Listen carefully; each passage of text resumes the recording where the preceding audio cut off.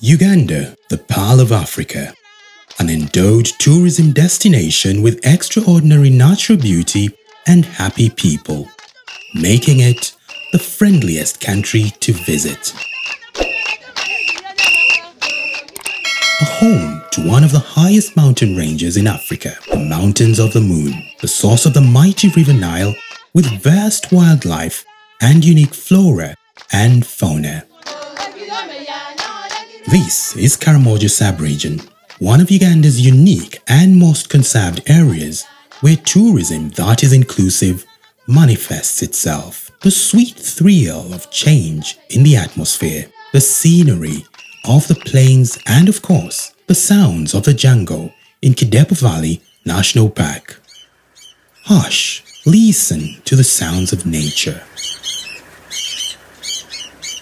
Tourism is not only important to me, but also to the communities where I come from.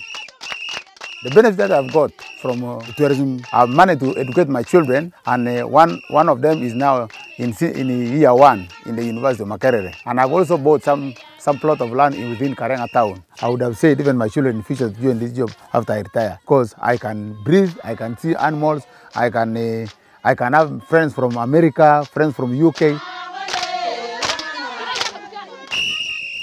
representing Karatunga as a tour operator for Karamoja. We benefit from tourism, of course, by creating income of revenue, but that's not where it ends. You know, uh, we work together with the local communities, uh, with tour guides, local service providers, uh, different hotels, and at the same time, we also enable other tour operators and travel agents to sell a similar experience and all together build Karamoja through tourism. Angane ara lungi ne tayo ko Uganda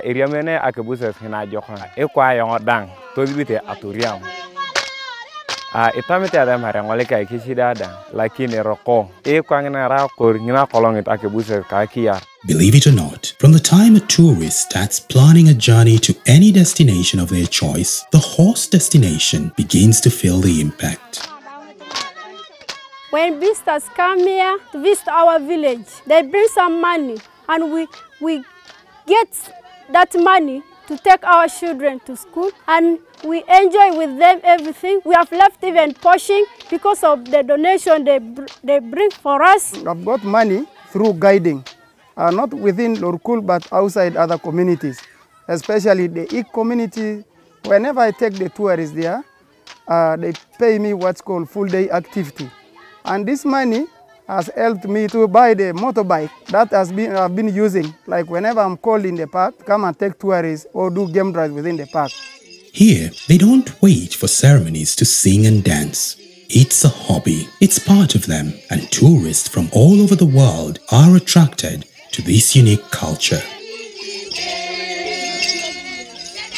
yangarake ngode emono kwangulu ela na rilo bukui yangarake grupu lo pelo abala ngini kwako ah malu yango ani bota paro ke bu abolia yangarake ndene ni page reta gindi kedi.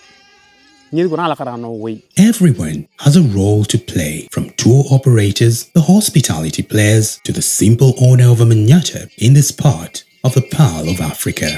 I used to dig like some vegetables like uh, beetroot, coriander, uh, radish. Purposely, I have actually people to buy.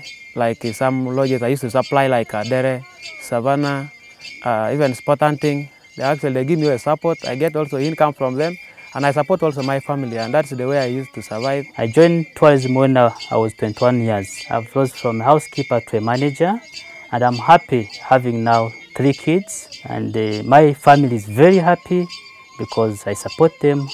The, the money I get from uh, from tourism, and they're happy. I'm always paid something. At least I get a guide fee of 50,000. It was my first time to see the currencies called dollars.